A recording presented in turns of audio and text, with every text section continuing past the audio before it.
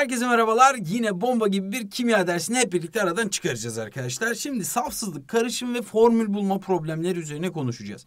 Önceki dersimizde ne yapmıştık? Miktar geçiş, artan madde ve yüzde verim problemleri üzerine konuşmuştuk. Yani aslında ilk ünitemiz olan kimyanın temel kanunları ve kimyasal hesaplamalar ünitesinin en önemli noktası kimyasal hesaplamaların ilk dersini tamamlamıştık. Bununla birlikte tamamen üniteyi bitiriyor olacağız arkadaşlar. Bir sonraki dersimizde de tabii ki karışımlar ünitesine geçiş yapıyor olacağız. Önceki derste öğrendiğimiz özellikle miktar geçiş problemlerinde öğrendiğimiz konular şimdi de bizim için çok önemli olacak. Haydi bakalım neler yapacağız.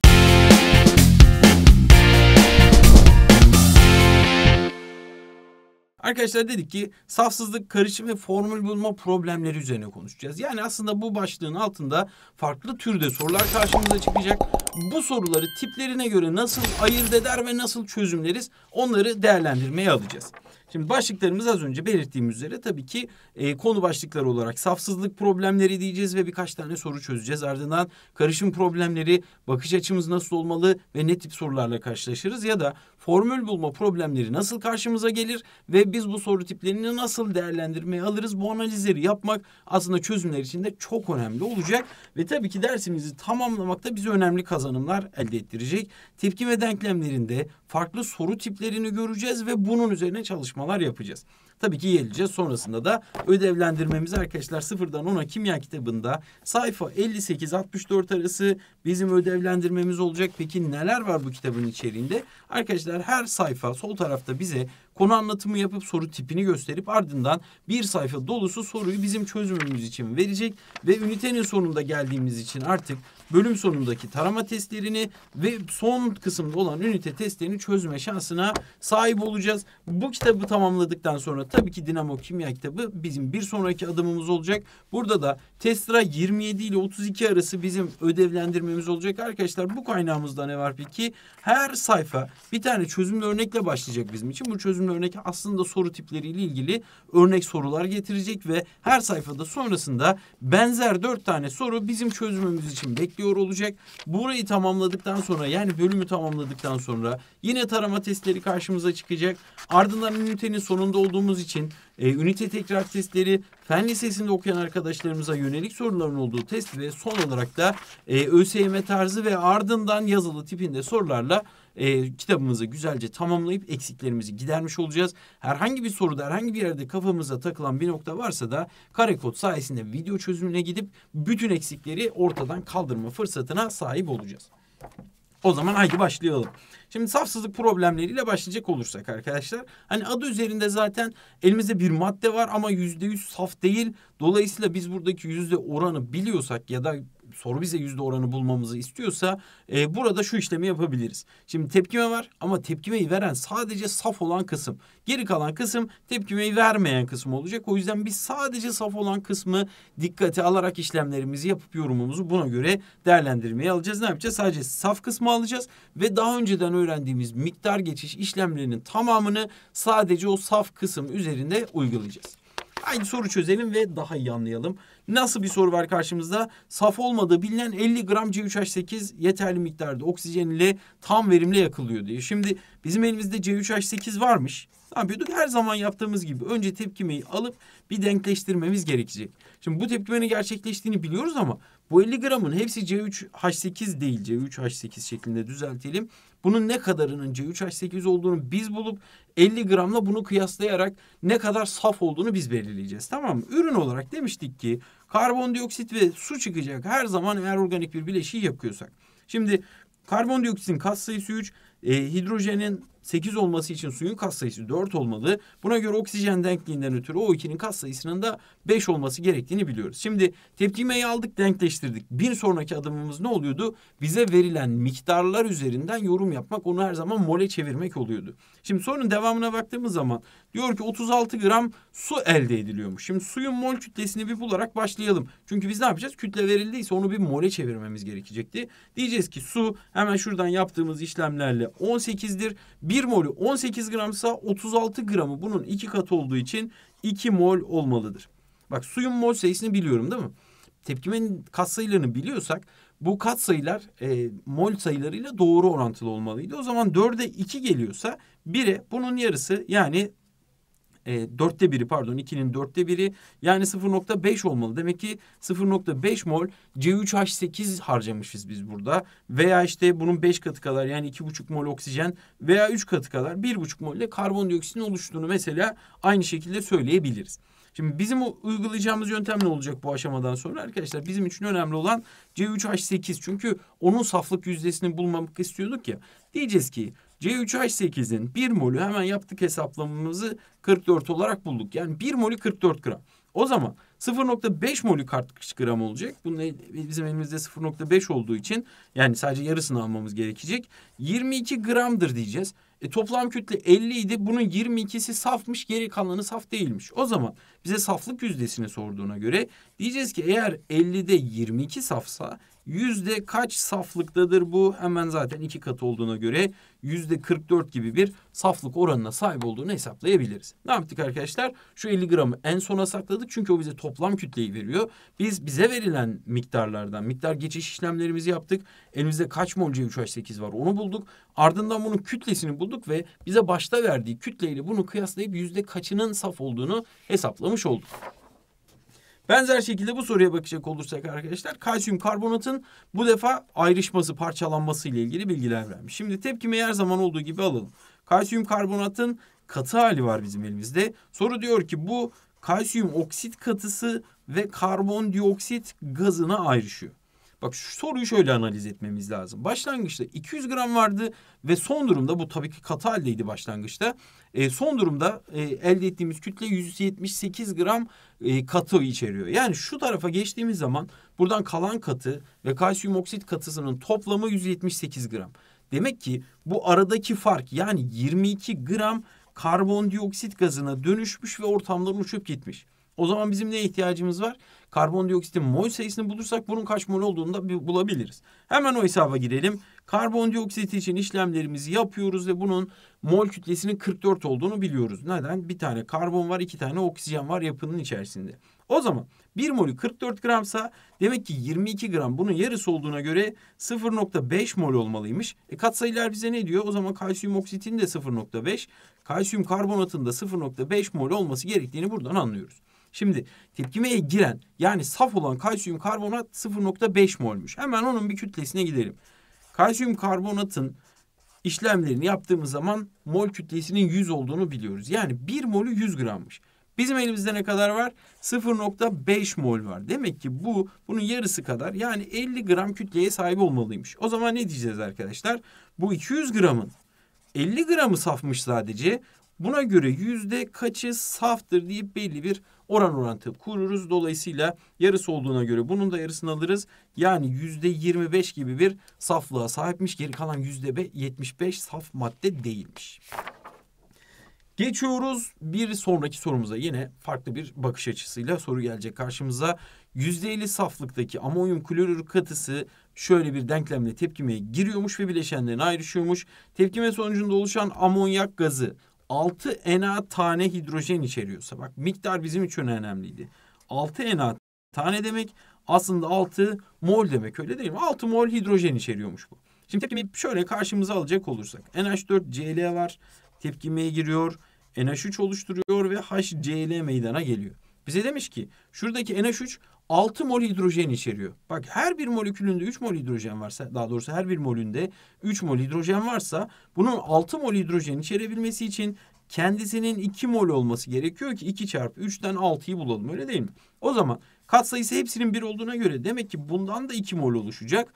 Bundan da benzer şekilde 2 mol harcanması gerekiyor ki bu de tepkime gerçekleşebilsin. Ben bu miktarda e, amonyak elde edebileyim. Şimdi bize ne diyor? Başlangıçta alınan amonyum klorür kaç gramdır diyor. O zaman hemen bir gidip amonyum klorürün mol kütlesini bir hesaplayalım bakalım. Amonyum klorürde azot var, dört tane hidrojen var, bir tane de klor var. Bunların hepsini topladığımız zaman ne gelecek arkadaşlar? 53,5 gelecek kat sayılar, sayılar bize burada verilmiş zaten. Şimdi bize bu ne diyor? 1 molü 53,5 gramdır diyor. Ama bizim elimizde 2 mol varmış. O zaman bunun 2 molü tabii ki bunun 2 katı olması gerekiyor. Yani 107 gram olması gerekiyor. Şimdi 107 gram olan sadece saf kısım. Bize diyor ki yüzde 50 saflıktakinin sadece saf kısmı yüzde 107 ise tamamı kaçtır? Yani yüzde 50'si 107 ise yüzde yüzü kaçtır diye sormuş oluyor aslında. Dolayısıyla sadece iki katını almamız yeterli olacak. Yani 214 gram, gramlık bir e, katı varmış bizim elimizde ve bunun 107 gramı e, amonyum klorürmüş. O da bu tepkimeyle bileşenlerine ayrışmış. Saflıkla ilgili bakış açımız bunlar olacak. Şimdi geliyoruz arkadaşlar bir diğer soru tiplerimiz karışım soruları olacak. Şimdi burada karşımıza aslında farklı farklı tipte sorular gelebilir. Ee, ne olabilir? Hiçbiri tepkime vermeyen iki tane maddeden oluşan bir karışım verebilir mesela. Bize işte kütle ya da hacimle ilgili bir yorum isteyebilir. Veya iki tane madde verir. Bunlardan bir tanesi tepkimeye giriyordur, diğeri girmiyordur. Veya işte e, birkaç tane madde vardır. Bunlardan birkaç tanesi tepkimeye giriyordur. Veya girenlerin hepsinde işte tamamı tepkime verebiliyordur. Yani e, tepkimeye göre bir değerlendirme yapıp e, hepsi için yoruma gidebiliriz. Burada dikkat edeceğimiz şey arkadaşlar e, tepkime kaç tane madde tepkimeye giriyorsa girsin. Her biri için ayrı ayrı tepkime denklemi yazıp denkleştirip her biri için ayrı ayrı miktar geçiş işlemlerini uygulayacağız ki sorunun çözümüne ulaşabilelim. Şimdi her biriyle ilgili bir tane soru çözelim. Bu çözümler esnasında da konuyu birazcık daha derinleştirmiş olalım. Şimdi bize demiş ki eşit sayıda atom içeren CH4 ve C4H6 gaz karışımı var ve bunun toplam kütlesi 86 gramdır. Buna göre bu gaz karışımı normal şartlar altında kaç litre hacim kaplar? Bak tepkimeden falan hiç bahsetmiyor bile. Dolayısıyla bir tepkime denklemine ihtiyaç duymayacağız. Ne yapacağız peki? Hemen şu yorumumuz. Eğer bunlar eşit sayıda atom içeriyorsa diyeceğiz ki arkadaşlar bunun her bir molekülünde 5 atom var. Bunun her bir molekülünde 10 atom var. O zaman eğer bundan n mol alıyorsam bundan 2 n mol almalıyım ki toplamda içerdikleri atom sayıları birbirine eşit olabilsin değil mi?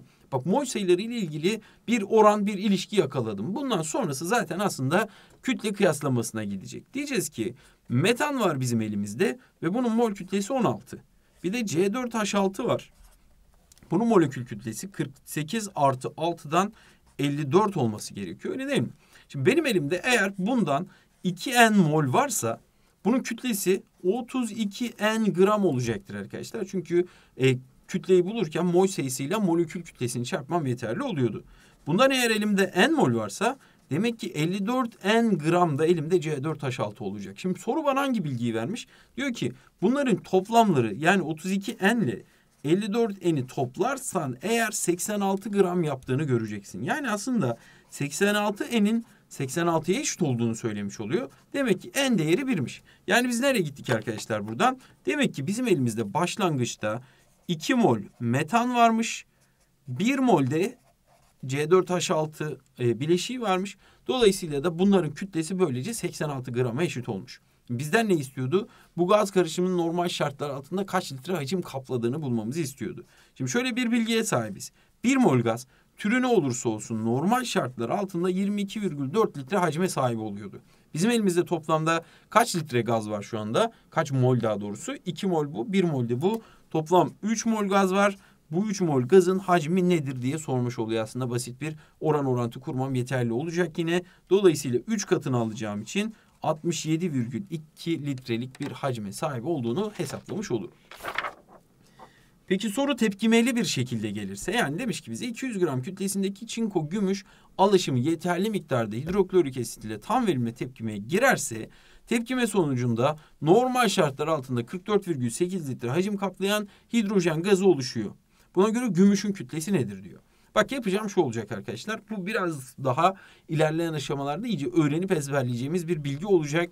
Çinko ve gümüşe baktığımız zaman çinko bir amfoter metaldir, gümüş ise bir yarı soy metaldir diyeceğiz. Ve bu tepkimede, bu karışımda sadece çinko bu tepkimeyi verecektir. Gümüşün hidroklorik asitle herhangi bir tepkimesi olmasını beklemeyeceğiz diyeceğiz. Şimdi çinko hidroklorik asitle tepkimeye girdiği zaman da çinko klorür tuzunu oluşturacak ve H2 gazı açığa çıkacak tamam mı?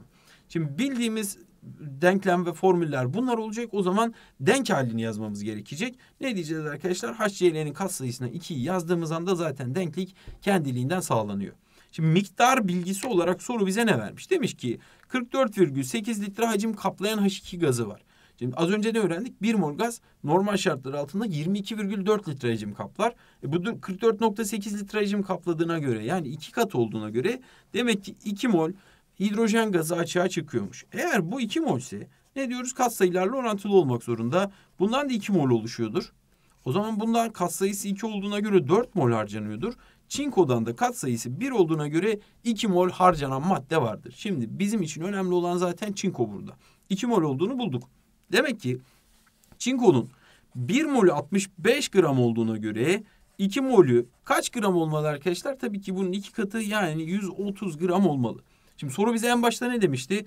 200 gramlık bir alaşım var. E bunun 130 gramının çinko olduğunu buldum. Demek ki geri kalan kısım ise gümüş olacak. Yani MAG'yi bulmak istiyorsak yapmamız gereken tek şey bu toplam 200 gramdan 130'u çıkarmak olacak. Demek ki 70 gramlık bir gümüş kütlesi varmış diyeceğiz. Hemen bir diğer soru tipine geçelim arkadaşlar. Şimdi bu defa elimizde iki tane madde var. Bunların ikisi de tepkimeye giriyor. Bak az önce sadece çinko giriyordu. Burada C2H4, C3H8 var. Bunların ikisi de tepkimeye giriyor. Böyle bir durumla karşılaşıyorsak iki tepkimeyi de ayrı ayrı yazmamız gerekecek arkadaşlar. Ne demiş? Yeterli miktarda oksijenle yakıyorum ben bu karışımı. O zaman C2H4'ü O2 ile tepkimeye sokacağız değil mi? Ürün neydi? Sabit. Karbondioksit açığa çıkacak. Bir de su oluşacak. Şimdi hemen katsayıları yazalım. Karbonun 2 olabilmesi için karbondioksitin katsayısı 2, hidrojen 4 var o zaman suyun katsayısı 2. 4 artı 2'den 6 oksijen var o zaman o 2'nin katsayısı 3. Diğer tepkimeyi yazalım. C3H8 var. Biz bunu O2 ile yine tepkimeye sokuyoruz. Yine karbondioksit ve yine su açığa çıkmasını bekliyoruz. Hemen denkleştirelim. Karbondioksitin katsayısı 3, suyun katsayısı 4 olacak. Toplamda 10 tane oksijen olduğu için O2'nin katsayısının da 5 olmasını bekleyeceğiz. Şimdi arkadaşlar bize demiş ki böyle bir karışımımız var ve toplamı 1 mol. Şimdi hangisinin ne kadar olduğunu bilmiyoruz. Sadece toplamlarının 1 mol olduğunu biliyoruz değil mi? Bak burada hemen şu yoruma gidiyoruz.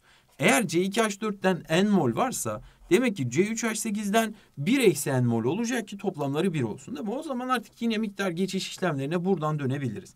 Eğer bundan N mol varsa ve bundan da 1 eksi N mol varsa demek ki karbondioksitten 2, sudan yine 2 N mol oluşmasını bekleyeceğiz. Burada da 3 eksi 3 N mol karbondioksit yani bunun 3 katı bunun 4 katı kadar yani 4 eksi 4 N mol de suyun açığa çıkmasını bekleyeceğiz.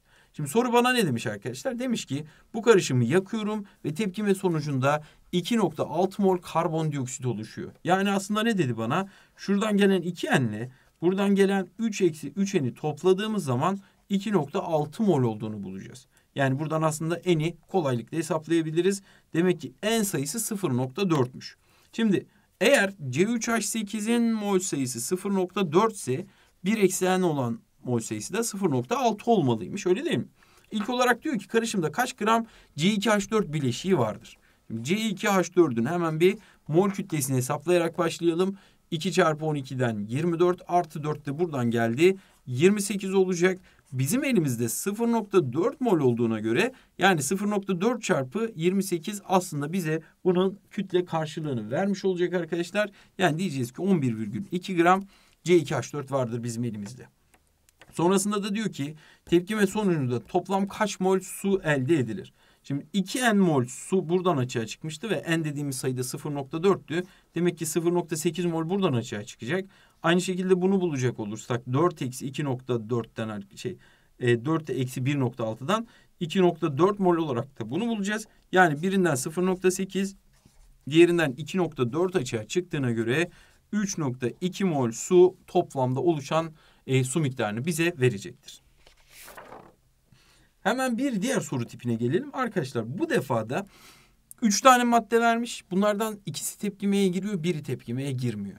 Ne yapıyorduk arkadaşlar? Diyoruz ki tepkimeye girenlerin hepsinin tepkimelerini ayrı ayrı yazacağız. Bak hepsini yaktığımızı söylüyor bize. O zaman karbon monoksit var. Oksijenle tepkimeye girecek ve ürün olarak ne oluşturacak? Karbondioksit gazını oluşturacak arkadaşlar. Denkleştirelim hemen. Şunun katsayısına 1 bölü 2 yazsak yetecek. Bir de elimizde CH4 varmış. Bunu da yine oksijenle tepkimeye sokacağız. Ürün olarak da karbondioksit ve su açığa çıkacak. Denk mi peki? Tabii ki değil. Su ve oksijenin katsayılarını iki yazdığımız zaman buradaki denkliği de sağlamış olacağız. Şimdi soruyu okuyacak olursak. E, helyum da var elimizde bir de ama helyum bir soy gaz olduğu için tabii ki onun bir tepkime vermesini beklemiyoruz. Bu karışım normal şartlar altında 44,8 litre hacim kaplıyor diyor. Arkadaşlar ne biliyorduk biz? 1 mol gaz 22,4 litre hacim kaplar.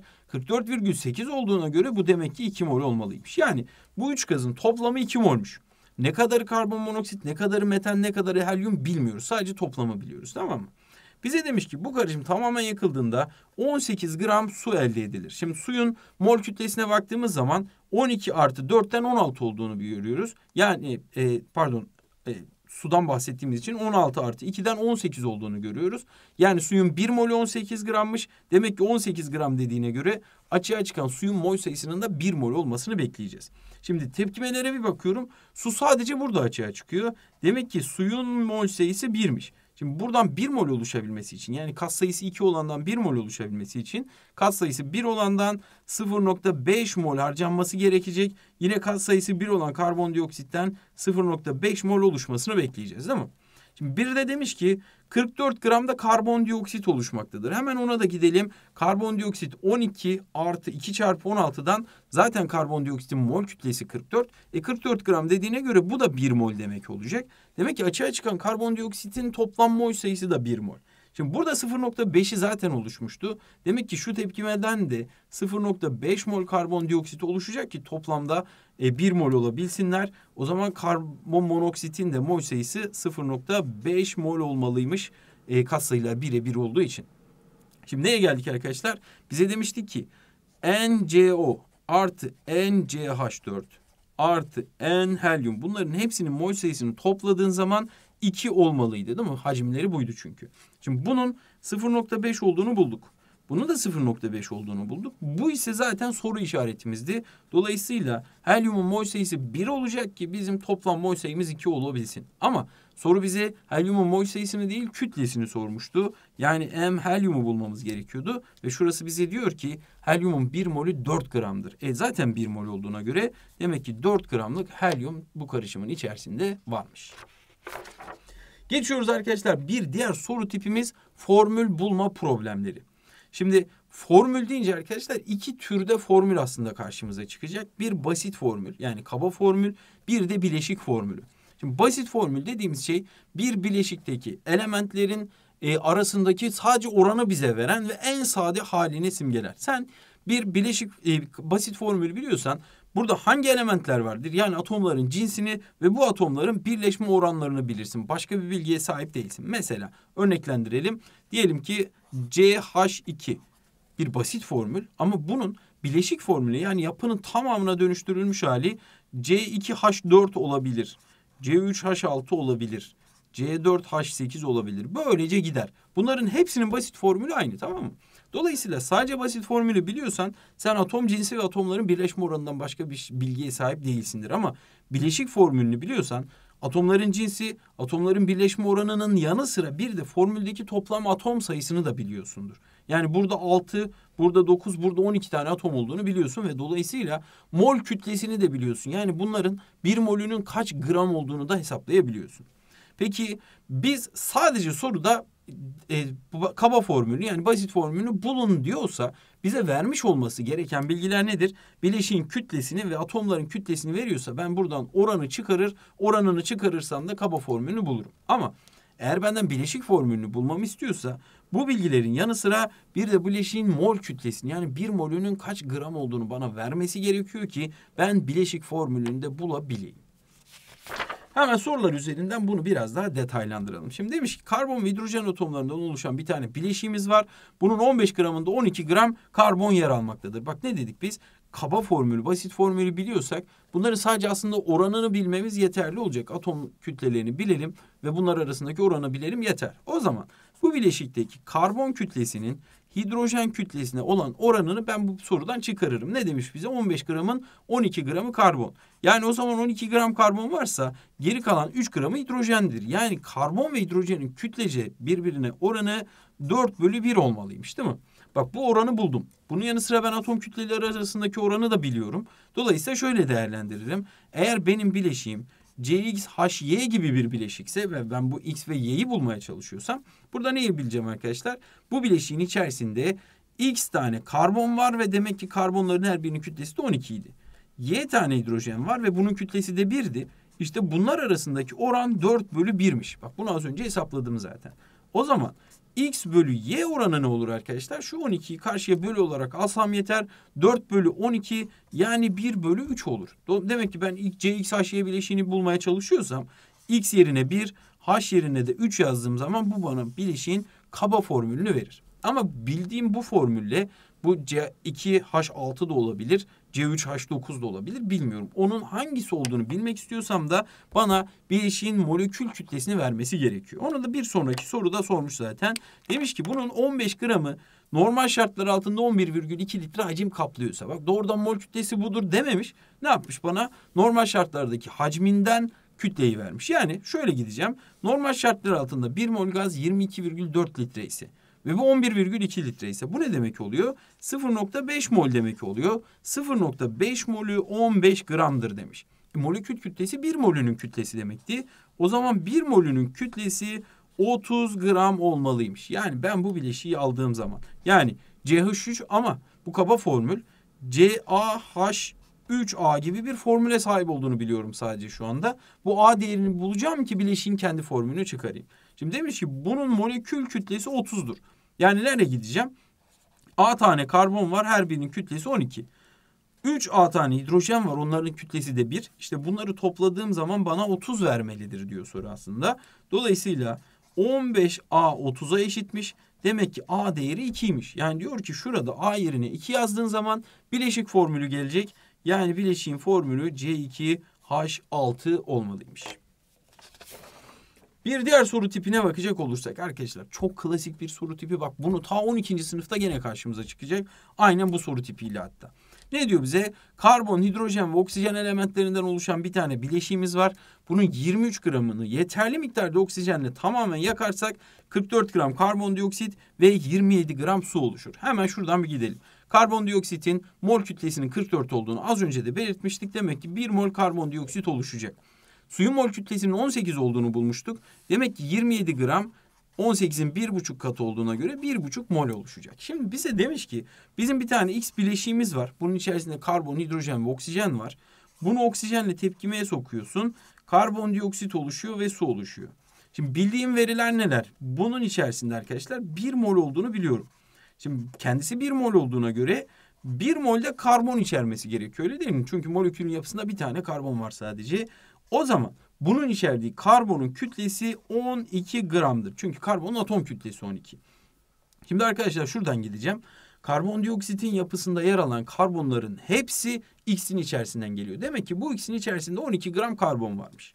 Aynı şekilde suyun içerisinde yer alan hidrojenlerin de tamamı X'ten geliyor. Demek ki ben buradaki hidrojenin mol sayısını ve kütlesini bulursam X'in içerisinde ne kadar hidrojen olduğunu da bulurum. Hemen gidelim. Şimdi bunun bir buçuk mol olduğunu hesaplamıştık. Kendisi bir buçuk mol ise yapıda hidrojen 2 yazdığına göre demek ki 3 mol hidrojen varmış ve hidrojenin atom kütlesi 1 olduğuna göre demek ki 3 gram da hidrojen varmış. Yani ben şu X bileşiğinin içerisindeki karbon, hidrojen ve oksijeni ayrı ayrı değerlendirecek olursam. Şimdi karbondan dedik ki bizim elimizde 12 gram var ve kendisi 1 mol. Hidrojenden 3 gram var ve kendisi 3 mol. O zaman arkadaşlar şimdi toplamı 23 gramdı ya. Bizim 15 gramını karbon ve hidrojen oluşturduğuna göre geri kalan 8 gramının oksijen olmasını bekleyeceğiz. Eğer 8 gram oksijen varsa ve oksijenin atom kütlesi de 16 ise demek ki 0.5 molde oksijen olacak. Şimdi biz bileşiğin formülünü almaya gidiyoruz. Bak karbon var X'in içerisinde. Bunun 1 olduğunu bulduk. Hidrojen var. Bunun 3 olduğunu bulduk. Oksijen var. Bunun da 0.5 mol olduğunu bulduk. O zaman ben buradaki sayıların hepsini en küçük tam sayıya çevirecek olursam aslında bileşiğin basit formülü ortaya çıkmış olacak. Yani şunların hepsini 2 ile genişlettiğim zaman C2, H6 ve O şeklinde bunların hepsini de tam sayıya çevirip bir bileşik formülüne ulaşmış olacağım. Basit formülünü de bu şekilde değerlendireceğim. Geçelim bir diğer sorumuz arkadaşlar. Karbon ve hidrojen elementlerinden oluşan bir bileşiğin formülü CnH2n artı 2 şeklindeymiş. 2 molünü tamamen yaktığımız zaman 72 gram su açığa çıkıyormuş. Hemen şunu bir bulalım. Miktar vermiş bize. Suyun 1 molü 18 gramdı. 72 gram olduğuna göre demek ki 4 mol su açığa çıkmasını bekliyormuşuz. Şimdi tepkimemiz nasıl bir tepkime? CnH2n artı 2. Biz bunu oksijenle tepkimeye sokuyormuşuz. karbondioksit oluşuyormuş ve su oluşuyormuş. Öyle değil mi? Bizim tepkimemizin süreci bu. Şimdi diyeceğiz ki n tane karbon var. O zaman karbondioksitin katsayısı n olmalı. 2n artı 2 tane hidrojen var. O zaman suyun katsayısı da n artı 1 olmalı ki buradan 2n artı 2 tane hidrojen gelebilsin. Şimdi bu katsayıları belirledik. Soru bize demiş ki eğer sen bundan 2 molü tepkimeye sokarsan sudan 4 mol oluşur. Yani aslında eğer bundan 1 molü tepkimeye sokarsak bundan 2 mol oluşmasını bekleyeceğiz. Bu ne demek? Bunun katsayısı 1 ise bunun katsayısı 2 olacak. Yani n artı 1 dediğimiz değer aslında 2'ymiş. O zaman n değerinin 1 olmasını bekleyeceğiz. Şimdi gidip bu değeri e, denklemde yerine yazacağız. Bizim bileşiğimiz Cn H2n artı 2 olduğuna göre ve biz n yerine 1 yazacaksak CH4 bizim bileşiğimizin formülü olmalıymış. Bunu da kolaylıkla hesaplamış olduk. O zaman konumuzu şöyle bitirirken nelerden bahsetmiştik? Safsızlık problemlerinden bahsettik ve dedik ki sadece saf olan kısım tepkimeye girer, geri kalan kısımlar tepkime dışı tutulur. Karışım problemlerinde bir karışım verdiği zaman burada sadece ve tepkimeye giren bütün bileşenlerin hepsinin tepkimesini ayrı ayrı yazarız ve bunun üzerine miktar geçiş işlemleri uygularız. Formül bulma problemlerinde de kaba formül yani basit formül ve bileşik formüllerini ayrı ayrı değerlendirip işlem yapmamız gerekir dedik. O zaman ne yapıyoruz arkadaşlar? Tabii ki ödüllü sorumuzu cevaplandırıyoruz ve yorumlarda paylaşmayı ihmal etmiyoruz. Hepinize sağlıklı günler diliyorum. Bir sonraki dersimizde yine tam da burada tekrar görüşmek üzere.